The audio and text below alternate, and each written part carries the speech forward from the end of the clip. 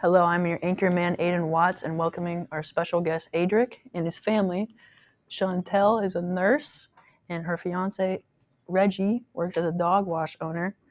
And you might say he's raiding cats and dogs outside, but it's just his pets. His two dogs, including a black pug and a standard poodle, and his two cats.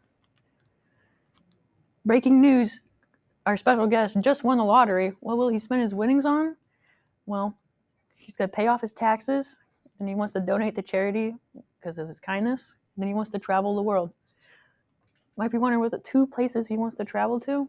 He wants to travel to Norway and India.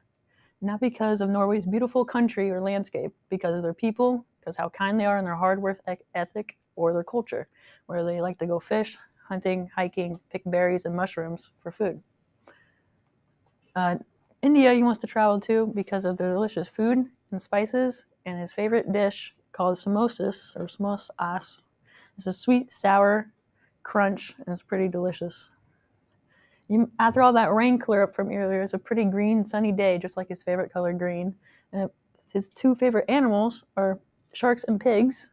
No reason, just he likes them.